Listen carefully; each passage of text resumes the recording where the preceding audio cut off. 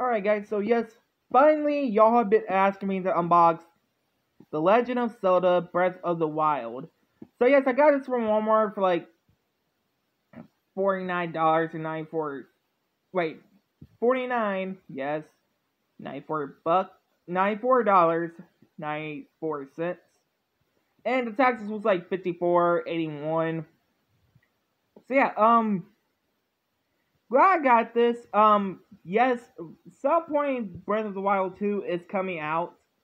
Some point this year, because it was announced like at the Nintendo Direct back in September, but we will have to wait and see. Unbox this. Also, check out the background, you guys.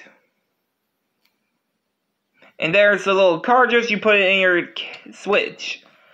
Well, anyway, guys, hope you guys like, comment, subscribe.